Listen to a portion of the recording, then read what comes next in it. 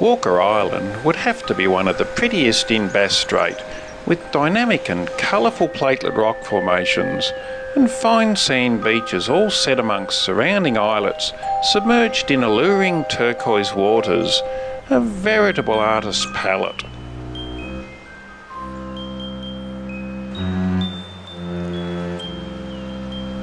You can gaze across Ransonet Bay to the imposing Nut at Stanley on the mainland, or over the island to the wind farm at Woolnorth Point.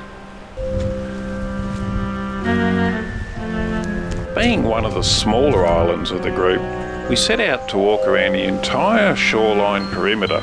but Tim had inflamed a tendon in his foot, formerly jumping between boulders on our Shack Bay walk,